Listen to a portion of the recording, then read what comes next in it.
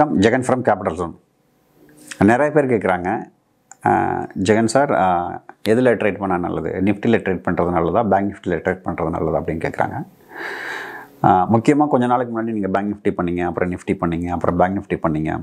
வெள்ளிக்கிழமைலாம் பார்த்தீங்கன்னா நீங்கள் தொடர்ந்து நிஃப்டி பண்ணிங்க.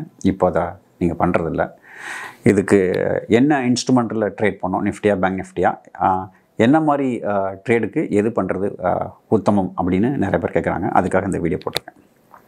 ரைட் முதல்ல நீங்கள் ஒரு டைரக்ஷனல் ட்ரேடராக இருந்தால் நீங்கள் வந்து உங்களுக்கு டைரக்ஷன் தான் முக்கியம் அப்படிங்கிற பட்சத்தில் நமக்கு நல்லாவே தெரியும் பேங்க் நிஃப்டிங்கிறது ஒரு ஒயில்ட் அனிமல் அது வந்து ஒரு செக்டோரியல் இண்டெக்ஸ் அதாவது வந்து பேங்க் நிஃப்டி சம்மந்தப்பட்ட ஒரு ஸ்டாக் சாரி இண்டெக்ஸ் அதனால் வந்து அது எப்போவுமே ட்ரெண்ட் ஆகும் நிஃப்டியை விட. நல்லாவே ட்ரெண்ட் ஆகும். ஆக உங்களுக்கு டைரக்ஷன் தான் முக்கியம் அப்படிங்கிற பட்சத்தில் நீங்கள் என்ன பண்ணலாம்? பேங்க் நிஃப்டியில் ட்ரேட் பண்ணுறது நல்லது. நிஃப்டியை விட. ஸோ இது நம்பர் ஒன் பாயிண்ட் ஸோ நீங்கள் டைரக்ஷனல் பிளேயரா நான் டைரக்ஷனல் பிளேயரான்னு பாருங்கள் ஸோ டைரக்ஷனல் பிளேயர்னால் நீங்கள் பேங்க் நிஃப்டி போகிறது உத்தமம். நம்பர் ரெண்டு உங்கள் கேபிட்டல் ஒரு ஒரு ஒரு கோடிக்கு கீழே இருக்குது அப்படின்னா வந்து எப்போவுமே பேங்க் நிஃப்டியில் வந்து உங்களுக்கு ப்ராஃபிட் ரொம்ப ஜாஸ்தி நிஃப்டியில் வந்து ப்ராஃபிட் ரொம்ப குறவு. இது எல்லாருக்கும் தெரிஞ்ச உண்மை தான். இருந்தாலும் கேபிட்டல் ரொம்ப அதிகமாக போகும்போது என்ன ஆகும்னா பேங்க் நிஃப்டியில் வந்து உங்களுக்கு நிஃப்டியை கம்பேர் பண்ணும்போது லிக்விடிட்டி ரொம்ப குறவு. அதாவது வந்து ஒரு நூறு கோடிக்கெலாம் நீங்கள் வந்து ஒரு சிங்கிள் செகண்ட்ஸில் ஆர்டர் போட்டிங்கன்னா இது கொஞ்சம் ஸ்லிப்பேஜஸ் வரும். நீங்கள் நிஃப்டியில் ட்ரேட் பண்ணிங்கன்னா உங்களுக்கு ஸ்லிப்பேஜஸ் குறவாக வரும். இதுதான் ரெண்டுக்குள்ள வித்தியாசம். ஏன்னா இயற்கையாகவே வந்து பேங்க் நிஃப்டியில் வால்யூம் ஜாஸ்தி பேங்க் நிஃப்டியில் வால்யூம் கம்மி. ரெண்டுலேயுமே வால்யூம் ஜாஸ்தி தான் ஸ்டாக்கை கம்பேர் பண்ணும்போது. இருந்தாலும் நிஃப்டியில் வால்யூம் ஜாஸ்திங்கிறதுனால அந்த பிடாஸ்க் பிரைஸ்னு சொல்லுவாங்க. அதாவது வாங்குற விலைக்கும் விற்கிற விலைக்கும் உள்ள வித்தியாசம் வந்து ரொம்ப குறைவாக இருக்கும் நிஃப்டியில் ஆக மொத்தம் உங்கள் கேபிட்டல் ரெண்டு கோடி மூணு கோடி அந்த மாதிரிலாம் நிறையா போதுங்கிற பட்சத்தில் நீங்கள் என்ன பண்ணலான்னா வந்து நிஃப்டிக்கு மாறுறது நல்லது. இல்லைன்னா பேங்க் நிஃப்டியில் கூட நீங்கள் பண்ணலாம். கிட்டத்தட்ட ஒரு ஐம்பது கோடி வரைக்கும் எந்த பிரச்சனையுமே இருக்காது. நீங்கள் தாராளமாக பண்ணலாம். நான்லாம் பார்த்தீங்கன்னா எவ்வளோ கோடிகள் வந்து பேங்க் நிஃப்டியில் தான் இன்றைக்கு வரைக்கும் பண்ணிகிட்டு இருக்கேன். ஏன்னா அதில் ப்ராஃபிட் ரொம்ப அதிகம். ஸோ கேபிட்டல் ரொம்ப அதிகம் ஸ்லிப்பேஜஸ் அதிகமாக வருது அப்படிங்கிற பட்சத்தில் நீங்கள் நிஃப்டிக்கு மாறலாம். இல்லை பேங்க் நிஃப்டியில் பண்ணுறது நல்லது. ஸோ ரெண்டாவது காரணம் சொல்லிட்டேன். மூணாவது உங்கள் ஸ்ட்ராட்டஜி ரேஞ்ச் பவுண்ட் ஸ்ட்ராட்டஜி இப்போ ஒரு அயன் காண்டூர் எடுக்கிறீங்க இல்லைனா வந்து அயன் ஃப்ளை எடுக்கிறீங்க இல்லை வேறு ஏதாவது ஒரு மெத்தடி ஃபாலோ பண்ணுறீங்க அப்படிங்கிற பட்சத்தில்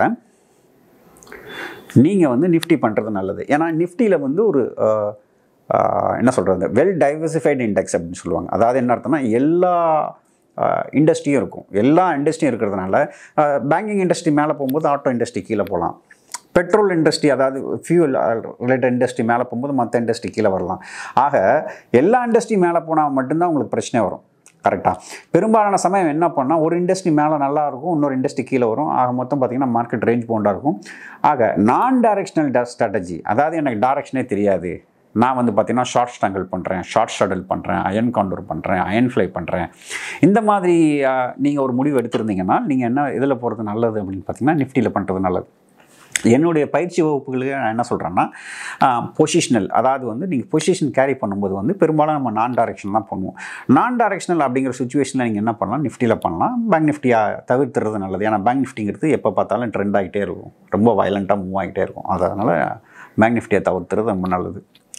பொசிஷனல் பொசிஷனல்னு சொல்லிட்டாலே நம்ம என்ன பண்ண போகிறோம்னா வந்து பெரும்பாலும் நிஃப்டியில் பண்ணுறது நல்லது. ஏன்னா வந்து பொசிஷனல் சொல்லிட்டாலே நம்ம ரேஞ்ச் போட்டு தான் பண்ண போகிறோம் என்னோடய ஒர்க் ஷாப்பில் கூட நான் பொசிஷனல் நிஃப்டி தான் நான் ரெக்கமெண்ட் பண்ணுறேன் என்னோடய பொசிஷனல்னு பார்த்தீங்கன்னா வந்து ஏதாவது ட்ரெண்ட் ஃபாலோவிங்கோ இல்லை வேறு ஏதாவது பொசிஷனலோ எடுத்தால் நான் பெரும்பாலும் வந்து நிஃப்டியில் தான் பண்ணுவேன்.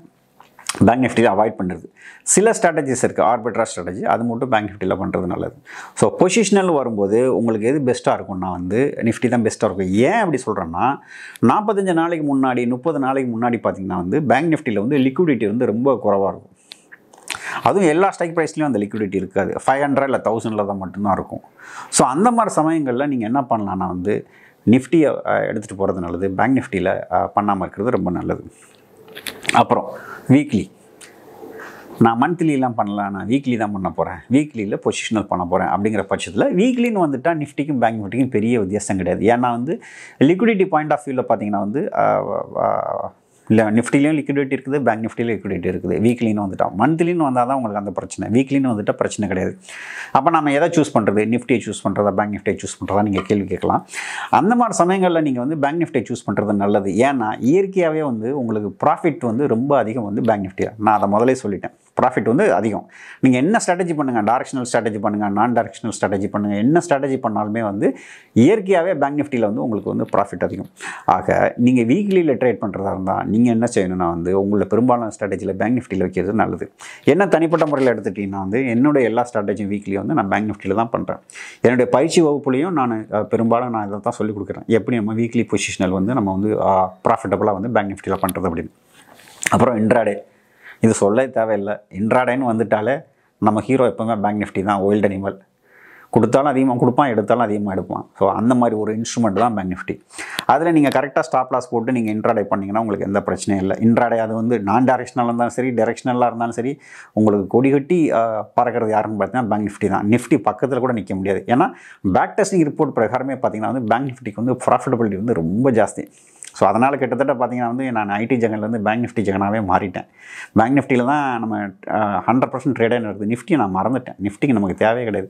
ட்ரெண்ட் ஃபாலோயிங் மட்டும்தான் அதில் நிஃப்டியில் பண்ணிகிட்டு இருக்கேன். மற்றது எல்லாமே வந்து பார்த்திங்கன்னா வந்து பேங்க் நிஃப்டிக்கு மாறிடுச்சு. ஸோ இன்ட்ராடேயில் பார்த்தீங்கன்னா clear hundred percent bank Nifty தான் பெஸ்ட் அப்புறம் பிடிஎஸ்டி அதாவது பிடிஎஸ்டினா என்ன அர்த்தம்னா வந்து பிடிஎஸ்டி ஆர் எஸ்டிபிடி ரெண்டு வாரில் இருக்கலாம். Buy today sell tomorrow or sell today buy tomorrow எதுவாக இருந்தாலும் பார்த்தீங்கன்னா வந்து ஓவர் நைட்டில் பார்த்தீங்கன்னா வேகமாக டிகே ஆகிற ஒரே இன்ஸ்ட்ருமெண்ட் பார்த்தீங்கன்னா கிட்டத்தட்ட அது இன்ட்ராடே மாதிரி தான் வேறு மாதிரி வேணால் சொல்லிக்கலாம். ஓவர் நைட் இன்ட்ராடேன்னு வேணால் சொல்லிக்கலாம். அந்த மாதிரி வேணாம் ஏன்னா ஒரு நாள் நைட்டு தான் அதோட லைஃப் இது பார்த்தீங்கன்னா வந்து பேங்க் நிஃப்டி ரொம்ப சிறப்பாக இருக்கும். நிஃப்டியும் நல்லாயிருக்கும் பட் பேங்க் நிஃப்டியை கம்பேர் பண்ணும்போது நிஃப்டியோட இது வந்து பார்த்திங்கன்னா வந்து குறவாக தான் இருக்கும். ஸோ எஸ்டிபிடியும் பார்த்தீங்கன்னா வந்து இன்ட்ராடே மாதிரி தான் உங்கள் பேங்க் நிஃப்டியோட ரிசல்ட்ஸ் ரொம்ப நல்லாயிருக்கும் ஸோ நீங்கள் என்ன மாதிரி ட்ரேடர் டைரக்ஷனல் ட்ரேடரா நான் டைரக்ஷனல் ட்ரேடரா பொசிஷனல் பண்ண போகிறீங்களா மந்த்லியில் பண்ண போகிறீங்களா வீக்லியில் பண்ண போகிறீங்களா அப்படிங்கிறத பொறுத்து உங்கள் கேபிட்டல் எவ்வளோங்கிறத பொறுத்து நீங்கள் டிசைட் பண்ணிக்கலாம்.